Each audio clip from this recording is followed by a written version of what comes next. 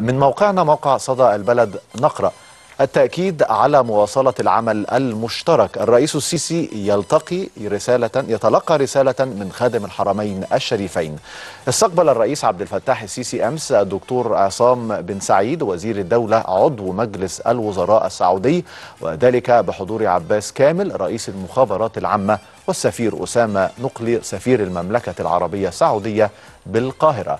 وقال السفير بسام راضي المتحدث الرسمي باسم رئاسة الجمهورية إن عصام بن سعيد نقل رسالة للرئيس من أخيه خادم الحرمين الشريفين الملك سلمان بن عبد العزيز تناولت عددا من موضوعات التعاون الثنائي كما تضمنت التأكيد على عمق العلاقات التاريخية التي تجمع بين البلدين والشعبين الشقيقين وحرص المملكة على تعزيز أطر التعاون الاستراتيجي بين البلدين على مختلف الأصعدة ومواصلة مسيرة العمل المشترك والتنسيق المكثف مع مصر إذاء مختلف القضايا الإقليمية والدولية.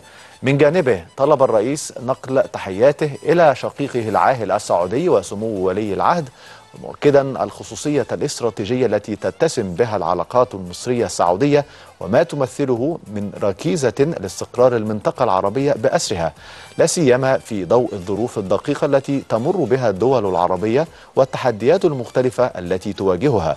وقد تم التوافق خلال اللقاء على استمرار تطوير التعاون والتشاور بين البلدين الشقيقين في مختلف المجالات لتحقيق المصلحة المشتركة للشعبين المصري والسعودي.